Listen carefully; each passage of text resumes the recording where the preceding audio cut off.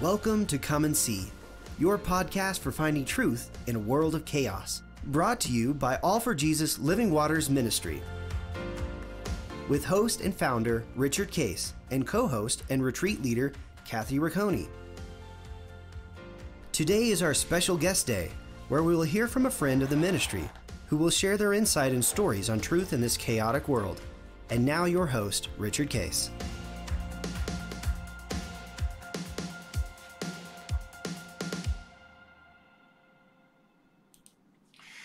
Morning, Kathy. Here we are on Guest Thursday, and uh, I've got some very special guests, uh, Tad Monica Jones from here in Denver and Florida. And uh, are you officially a Florida resident yet? Or Yeah. Is that your rest listing? you're on your way to, uh, Or state of Colorado? Not yet. not yet, Someday. yeah. You gotta be uh, six months and a day. Yeah, something like We're that. figuring that out. They Yeah. are. They officially. You have a house in Anna Maria Island, right? Which is Yes. an, a newfound favorite of ours. We visited there for the first time last spring with my daughter, who happens to be Anna Maria. That was how Oh. we found the place. It's So a yeah. Sign from God. Come on. exactly. It was a beautiful island, though. We loved it. Yeah. It's So we're, uh, best Tad guest. and Monica are our uh, first guest uh, of our new studio that uh, I set up a guest area. Uh, and the only thing I forgot about was uh, the microphone that I use is on a boom. And um, I forgot that actually the electronics is in the boom. so we, we had to jury rig it a little bit uh, to be able to work, and it works fine. But I got to get a new mic uh, that will work on our boom, which actually would be nicer, so we can get them closer to us to be able to uh, have a recording. But it works fine, and uh, and then I need a second camera, I guess, to go onto our tripod. Sounds like it. yes. need- Well, and then you need Linda to decorate the backdrop for the I need- guest I need area. Linda to Yeah. Yeah. decorate, uh, other than a wall. Hey, the lighting's good. the lighting's great. Yeah, we, we all we all look good, and these guys are all tan because they're down from Anna Maria. Yeah. That's true. We don't look so washed out from that white wall. That's right. So uh, welcome again, and uh, Tad and Monica were on uh, actually uh, many many months ago as they shared their story of how they came to know Christ, how you guys got married, and and uh, some of the uh, truth of abiding. And uh, we'd love for you to catch up. So catch us up a little bit on your life. It's been uh, many many months. You got lots of interesting things happen. So what's what's been happening? You go first. Well, let's uh, continue the train of thought around Anna Maria. What's interesting about that island is it's a key on South Tampa Bay and it fits our personality. Monica and I grew up in small towns in Nebraska and and it was a big thing, you know, in the farming community when you went to town. I mean, we were both town kids, but when you're in towns of 200 and 1,000, it's like really not, a, you're kind of in a remote location. So being on that island is like, well, well it's going to be a big day today. We're going to go to town. and, and or we'll we'll ride our bikes to everywhere we need to go. We'll like, uh, you know, it's been five days since we got in the car, Or I get to That's ride my awesome. bike. I love that. but it fits our personality. And uh, you know, I think the focus today was, at least from my point of view, will be about our relationship. It starts with our relationship with God, but our relationship. And what when Mo- when Monica and I are walking on the beach, and she just says, "I just love it here," I just say. Wow, God, I'm not that good. You figured this out. Yeah. You know, thank you for that. Uh, There's nothing better Yeah. than knowing she's happy. There's, you know, happy wife, happy life. You know that what they say, and uh, that's what Anna Maria's meant to us. It's it's a place of. The idea was it's going to be a legacy house for our kids and grandkids someday, and uh, but we've been I've just been surprised at how much it's blessed us and our relationship there. We we get re re-energized there, and uh, it's just been a beautiful time. I just really. How much time do you guys spend down there? Mm, we really haven't made that decision yet. It's kind of trying to figure it out. I think next year though we'll go more months at a time, at a big chunk of time. Recently, we've just been going a little bit here and there. So now we're, Okay. we're trying to find that rhythm. And what, uh, uh, what, what has been a little bit of the rhythm, what have you done? Has it gone, you've gone for what, two or three weeks at a time and then come back here two or three, four or five weeks and? Yeah, well, we've come back a little bit longer, and last fall we were there for about a month and a half. So we the most has been about a month and a half, and then a couple weeks here, a week there, kind of spread out. Yeah, all three kids are still in Colorado, so uh, we're trying to figure out what that balance looks like. I, I tell people when they ask me how long you're going to be there, I says, listen, all I know is there's nothing in Colorado in January, February. I'm kind of beyond my skiing years, and so when it's cold here, we need to be there. That's going to be And you'll uh, uh, welcome guests then, right? Oh yeah. Oh, We- yeah, we don't have a problem. with. You're not gonna, you're not gonna, you're not gonna leave Linda and I in col- cold Colorado, Oh right? no, in, no, gu- guests are welcome.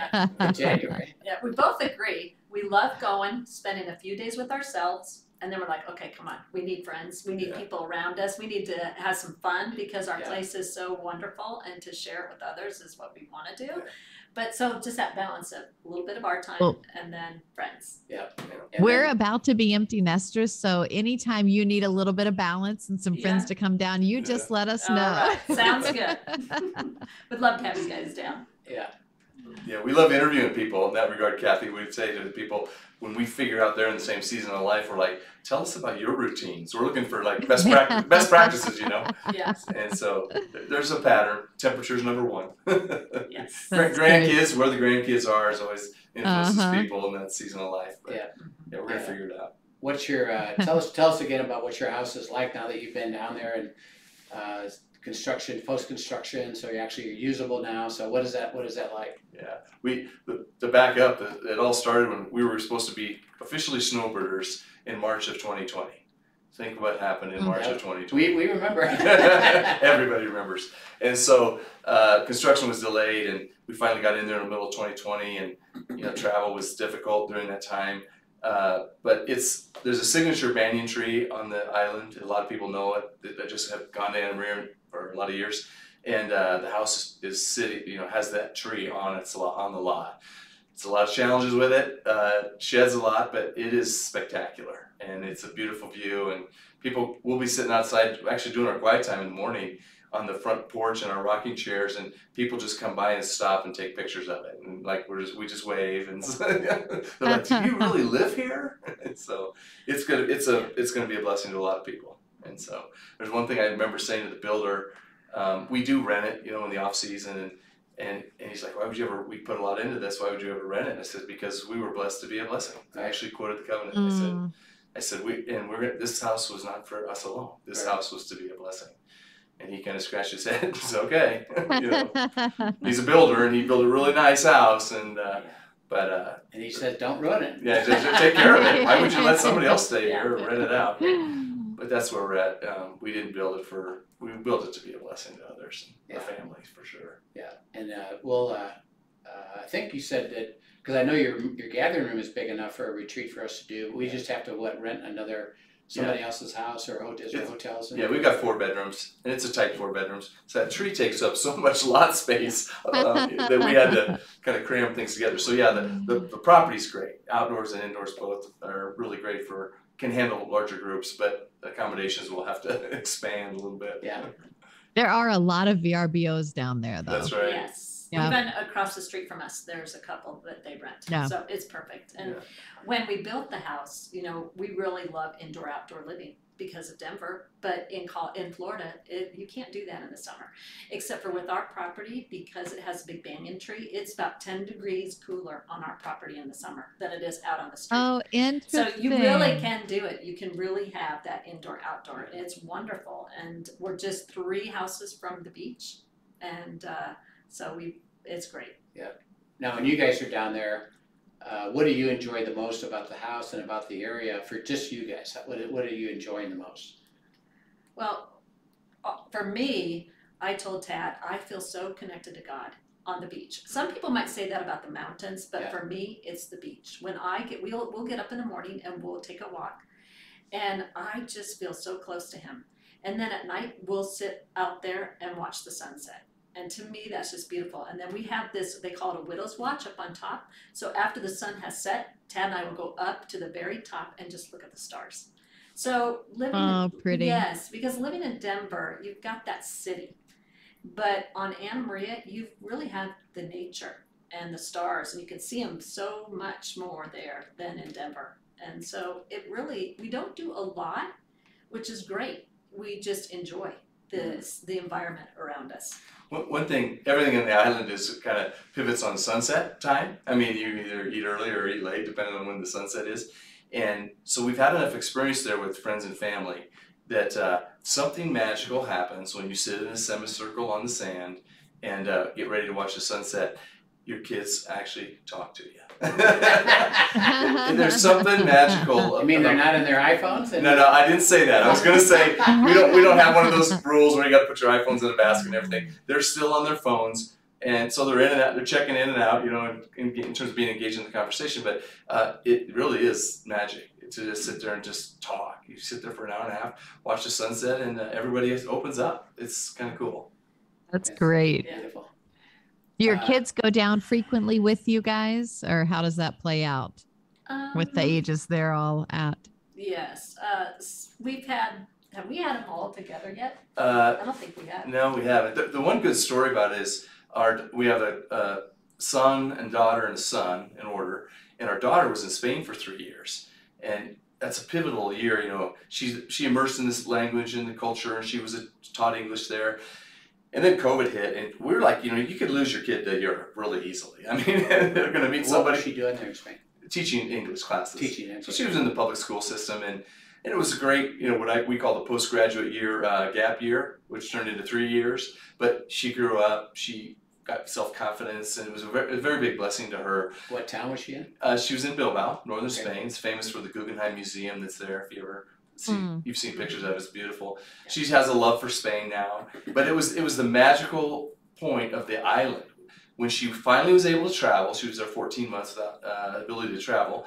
She, we got her to we got her to Anna Maria with a couple of her college friends and high, uh, high school friend, and it was just she just she'd been cooped up wearing a mask for 14 months. Spain was pretty harsh, and she just one day was walking out of the house. She goes, "Man, God, I love America!" And all her friends stopped and said, "Did you hear what she just said?" And I said, "Yes, we did." And it was the experience of the island with her friends and just being at peace, going to the beach every night, going out to dinner, and she really re-embraced American culture.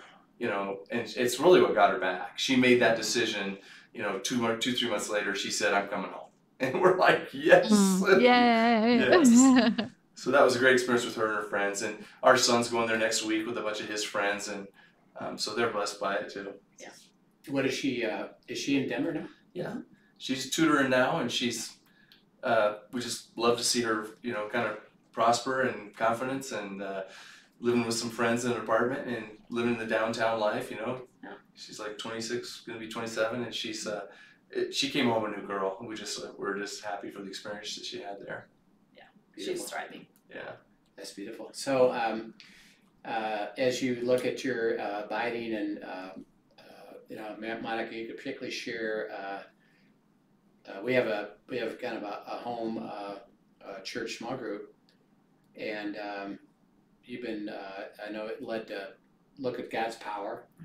Um, and she shared, uh, that she was led to, uh, Proverbs, uh, eleven and twelve.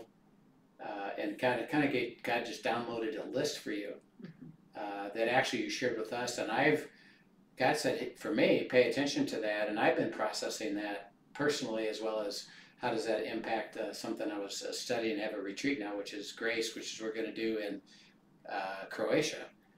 And the material that you gave is part of that retreat. Oh, wow. Uh, That's cool. so share a oh, little- that's great. Share share a little bit about that, about how you how you received it, and, and what are the things that that meant impo- uh, things to you, which Sure. has been now important to us.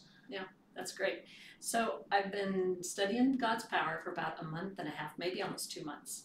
And what I love about home church is they'll pro- you guys will probe questions and give me ideas of what to dig into and things that I would think I should have thought of, but I hadn't.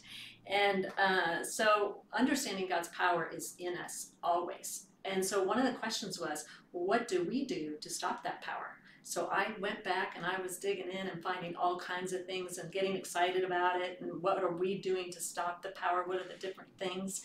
And um, uh, came back and started sharing it with our home church. And one of the individuals says, "Well, what is what's he speaking to you specifically about that list? Because some of the things in the list are uh, pride gets in the way of the power." Uh, reacting too quickly and not being patient enough and just jumping ahead of God that affects the power in Nahum I was learning about trust And it was so interesting. You would think that that would be a natural thing for me to then go back and say, well, what do you want me to focus on, Lord? But I hadn't thought about it because I was just too engrossed in Mm. all of the things that I was learning. So I said, well, let me go back and find out. And so he, um, Nahum was what came up. And it was for me about trust. Even in a difficult situation, do you trust me? And what is so interesting about that is prior to getting that, about a month ago, he kept, I was just in the house, probably doing dishes, cooking, and several times over a few days, he said to me, out of the blue, do you trust me? I'm like, um, yeah. And then he would say it again. And I started thinking, okay, is there something, Lord, that you are wanting to tell me? Because I think I trust you. And so it's just been this journey of trust. And now I'm understanding why. And it's because of what our youngest son is going through, Mhm. that he was preparing me to trust. And um, yeah, and I do um, much more than um, I would have a year ago when he shared with us the struggles that he's having. I didn't go to fear, I didn't go to panic. I just like, okay, here we go again. So um, it was just this journey, not knowing he was going to take me from power to trust to do you know how much I love you? Because those two things go hand in hand, the Mm. trust and love. If if you know how much God loves you, you can you can trust him. And so um, one thing that's been really great though in these last few days when we've gotten this revelation from our youngest son is I have two journals. One is my regular abiding journal, and the other one is prophetic words that have been given to us. Either we got them or somebody else gave them to us. And so I went back the last couple days and just was reading through them. And one of those words was from Linda. She um, called me one day and she was excited because she had been seeing eagles everywhere, and that was what that was the gift that God was giving her was just seeing these eagles. And she called us and she said, "Monica, I- I saw this eagle, and instantly the Lord brought Blake's mind name to mind." And can I share that in my journal real quick? So. Um, she, she saw an eagle swoop down in front of her and instantly got Blake's name. And what the Lord told her was, Blake doesn't believe how powerful I am. And um, she said God, that God had told her, This is where I am taking Blake. And so when she gave me that, I wrote that down and then um, I processed it. And then the Lord gave me Isaiah um, about um, soaring on eagle's wings and trusting him and having peace and walking and running and um, and so I wrote that down too and got confirmation and it was about Blake. So I remember just drawing a picture of an eagle. I have it posted in my quiet time, which is in my closet on a mirror, so I see it all the time. And it's like I'm so thankful I wrote that down because I think I could have easily forgotten it. And right now I need it because it's a good reminder. We're here a year later and we're dealing with similar things, but this is a promise, it's a reminder, and I need to just continue to focus on that. Yeah. So that's Yeah, and tell uh, a little bit uh, for context. Uh, you know, tell us a little bit about Blake. You know, what uh, his age, what he's doing right now, and then what you're praying for him as God is speaking about that because it's on your heart because he's your, your child. Yeah. do you do you want to share it or do you want me to? I'll start. You can jump in. Okay. Uh, basically, Blake uh, is had, has had trouble with anxiety, and uh, he had originally gone to Baylor for a semester and then came home, and he was he couldn't eat. He was so stomach was so upset and had digestive issues, and so he struggled with anxiety for recent years. And uh, it's basically um, he came home and went to uh, CU Denver for a while, and then um, really wanted to integrate into a more typical campus life, and so he's been up at CSU. Um, but it's been a struggle. I mean, he's taken a semester or two off here or there, or, or taken a light load, and and uh, we're just he's just um, the enemy's got has got a grip on him, and it's uh, he's believing lies, and we're trying to affirm him, and a lot of part of his family dynamic that he's grown up with is just probably planted a lot of these seeds, but then. Um, he's he's so we're all we're all in recovery here. I mean, this is not just about Blake's challenges. It's like for me that I'm going through a separate process process of understanding kindness because I'm the hard driver and uh, and you know, I perfectionist mindset and performance mindset and those things get projected onto my kids and and so and Blake we found out how sensitive he was and we didn't realize that through the whole process so I'm you know, in Galatians 5, learning about kindness and about how when I say things, how Blake internalizes them and takes them very seriously. And, uh, and so I'm growing in that regard, and Monica's growing in the trust regard. And what else would you add? Um, well, we were in Florida when he called us, and we were supposed to be there for two weeks. And after the first week, we could tell he needed us. So we got on a plane that night. And you know, he just shared some things he's been doing the last couple months that are definitely destructive, that um, are cause to be concerned about where he's at and what he's doing, and, and seeing that he has kind of slipped back into some crutches that um, are really unhealthy. But um, we just uh, went. I, I was telling Tad that after he told us, we just embraced him, you know, because he had shame and I said to Tad, I'm really understanding that unconditional love that God has for us because he could tell, and that's why I told him, I said, Blake, no shame. I said, no matter what you ever would tell us, we love you so much. Mhm. And it really is the heart of God. And he really prepared us because of our abiding. He prepared us for this time. And I can see it over the last several months when he told me a couple months ago, Do you trust me? Do you trust me? Because you're going to get a blow thinking, he's moving. We just kept thinking, Blake, you know, there was a, he wasn't completely there, but he had made progress Yeah. over the year, Yeah. and he was he was clipping along and he was making progress. But he was in Fort Collins. He was alone, and so he would come home on weekends, and we thought he seemed happy. He seemed like he was doing okay. Um, he said he was doing good in some classes, so it really, in that moment, threw us for a loop. One of, one of the things, um, I think this is the case for a lot of kids nowadays. Uh, the world is such a complicated place compared to what it was, and a lot of kids are, are struggling with anxiety. And one of the abiding retreats we did with you, Rich, uh, was in regards to just, you know, really what's going on here, in the world. I mean, are we taking things? Is it an attack of the enemy, or is it just, you know, the way the world Yeah, is? I mean, the world's in entropy. It's in destruction. That's it's right. like, how do we cope with just general, you know? Yeah, we're not exempt from that, right? Right. Yeah. Yeah. You know, general, you know, just environmental things, or if it's the, the attack of the enemy, and then throw COVID in there. I mean, these kids that were in college, their their their college year was wrecked, Yeah. year and a half, whatever it was.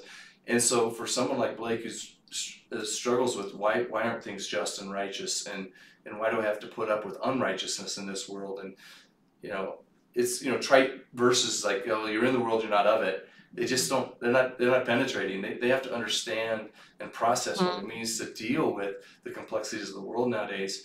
And uh, our tactics aren't necessarily the best. I mean, that's why we're in the Word, asking God, uh, you know, how we're supposed to communicate to Blake.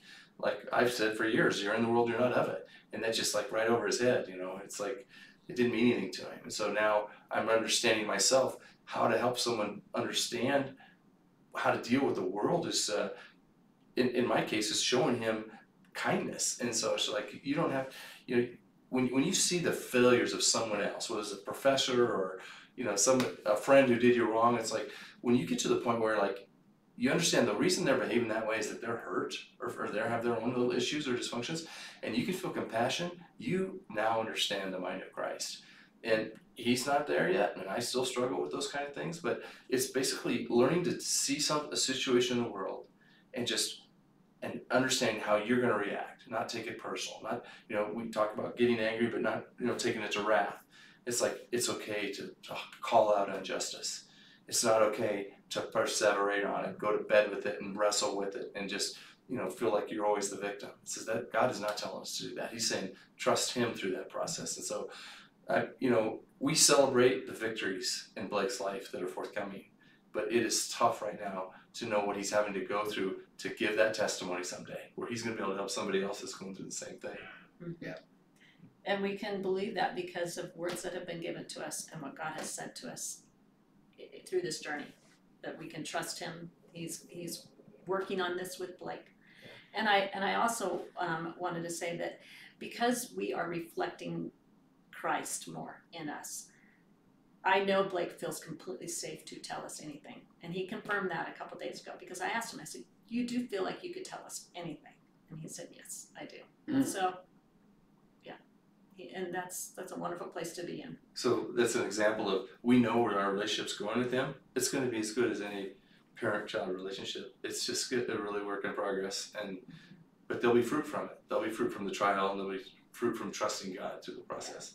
Yeah. So it sounds like y'all are seeing fruit in all of you and in Oh, Blake yeah. as well as in each of you as God's using this to grow and restore and redeem. Yeah. Yeah, that's Yes. right. And I think because we are abiding, we can see it that way. I think if we weren't, we would only Mhm. get in the thick of things and look at all the bad and not see that Right. he will restore this. He said he will. Mhm. He always does. And with that, you can just take that to the bank. And that Right. that comes with abiding. That comes with that that intimate one-on-one relationship with the Lord, knowing who He is, who He says He is, and who we are in Him. And that's that's beautiful. Yeah, yeah, and going back to, uh, you know, Proverbs eleven and twelve, you, uh, you know, you got in there, you saw things a little bit, uh, fresh. Mhm. Uh, and you actually, you kind of gave you a list and you kind of wrote them all down Mhm. because, um, when I was in it, it's like, hey Monica, could you send me that list? So that'll, Yes. that'll kickstart me a little bit. Yeah. Uh, so how did that, how did that happen that you got this list and uh, why did, why did that became so meaningful to you, which actually you were able to give it away immediately, because it was like, God said, here, pay attention to that. Well, gosh, how I got to that in that moment, I'm not really certain, but I was using the concordance. I was going into the power. I was asking the question, uh, why no power? Yeah. And he just gave me a verse, and then from that verse, I went to another verse, to another verse, and I, I ended up coming up with, gosh, a list of 15. Uh, what what is sown? If we sow certain things, and then what is the reward? Sow, reward, sow, reward and that's what that's how you're going to gain the power and that's was the typical that was the list Yeah, yeah, and the, uh, you know, if I'm doing the study on grace, uh, got led to a verse of sowing and reaping. Mm. Uh, and, and then he said, uh, remember what Monica shared about Proverbs 11 and 12, and she actually has a, a full list that I'd like you to pursue and understand about that concept. And, you know, so uh, when you said it, and, and this is where the spiritual dimension of, of the Holy Spirit guiding and leading, even even each other, she was just sharing.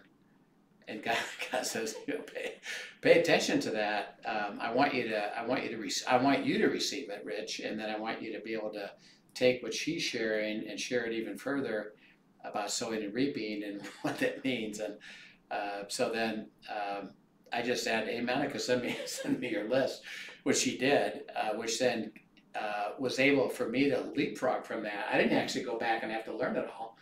I could just say, "Well, I'll take what you learned and I'll go further with it." And God says, "That's how it works." You know, is and it's it's kind of funny because what you sowed immediately I got to reap a little bit of it and then I'm going to sow a little bit of it. And so it's really amazing, you know, truth of how beautiful the spirit works to reveal something to you. Cause I know, I remember it meant something to you. Uh, and you shared how cool this was. And you, you I, and I said, I, I've looked at that verses a lot. I've never seen that before. Uh, but now I'm gonna, I'm, I get to see it, you know, Yeah. so awesome. it's really a, a privilege, uh, Yeah. you know, to look at that and, And one of the things you're Uh, describing there too, it's the privilege of being in abiding community together yeah, and how God uses us, each of us, to speak to each other, you know, and and just really flesh those things out and inspire and encourage. And I, it makes me think of Hebrews 10, 19 to 25. And, you know, it wraps up in that. There's a lot of let us statements in that, but but remembering to get together to encourage one another in the word. And that's exactly what you did. And as you did that, then the ripple effects are are what's playing out now. yeah. Yep, and, uh, and so as we, uh, uh, you know, understand that, um, we'd like to come back. Uh, Ted, you made a statement, uh, and I know both of you have experienced this and are experiencing it, and we are too. Uh, you talk about having the mind of Christ. Um, we'd like to go deeper next week into that element of it, of, you know, what does that mean to you? And particularly, I'd like you to, I'd like you to pursue more this comment that he could share anything with you, and he says, I, I really uh, understand that.